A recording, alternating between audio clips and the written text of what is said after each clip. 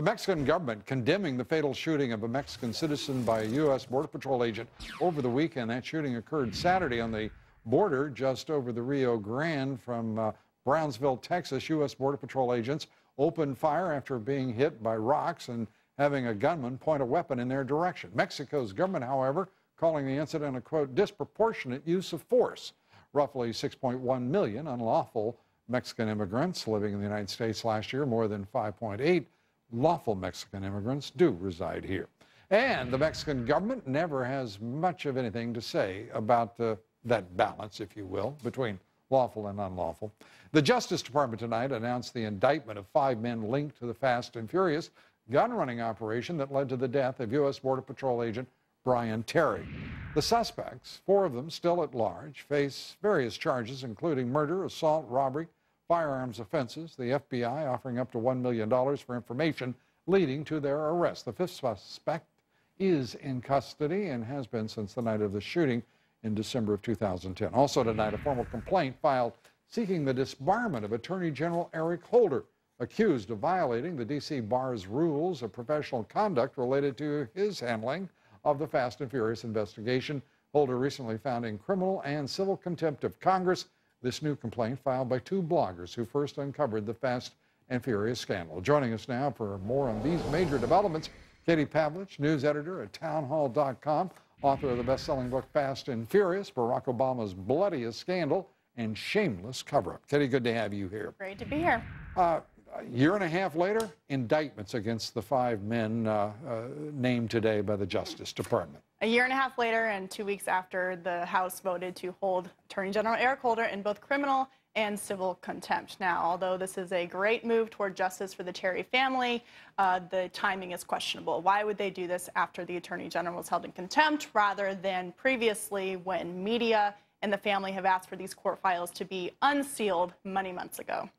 And a year and a half, uh, they've had the suspect uh, in prison. Are we led to believe, uh, for whatever reason, that this uh, the suspect who's been in custody for a year and a half, only uh, over the last uh, few weeks, gave up the names of his accomplices? Right, exactly. And one thing too is it's clear that the Justice Department is going to be have to work with the Mexican government in finding these guys because they, the remaining four are in Mexico, they believe.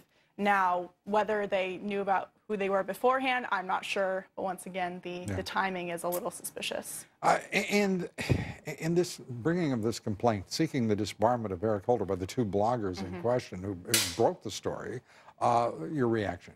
Well, one thing throughout the Fast and Furious scandal that's been important is that they don't want anyone to be above the law, whether it's the Attorney General or an ATF agent working out of Phoenix.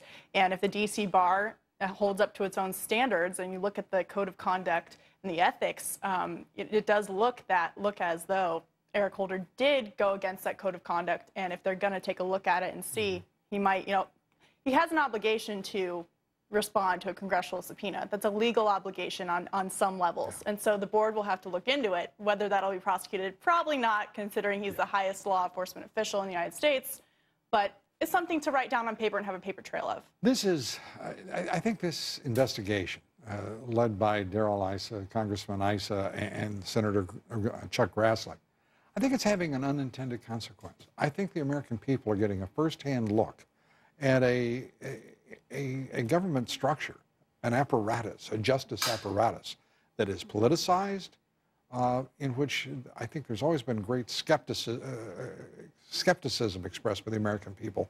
But I think it's rising to levels now that are disturbing. Uh, there's a lack of trust, and when trust breaks down in the judiciary and law enforcement, we've got a we've got a even more immense problem, I think, than, for example, what's happening with our economy. Right. Well, you, you talked about Mexico before and how they have a blurred line between lawful and unlawful in their country. And the United States is exceptional in the sense that the law is equal for everyone and everyone's equal under the law. And as we're seeing in Operation Fast and Furious, the noncompliance with subpoenas, the, the assertion of executive privilege at the last hour, um, Eric Holder refusing to turn over documents that had been requested for months, refusing to comply with a 22-part subpoena. And then not to mention the U.S. Attorney in Washington, D.C., who was supposed to take a hard, sure. um, you know, objective look at the contempt charges, who made up his mind and said he's not going to look at yeah. them or prosecute this, even before the contempt votes were tallied. And who apparently, uh, who was told by the the Obama administration not to bother with that prosecution thing. Mm-hmm. Exactly. Katie, good to have you with us. Katie Thanks for come having me. back soon.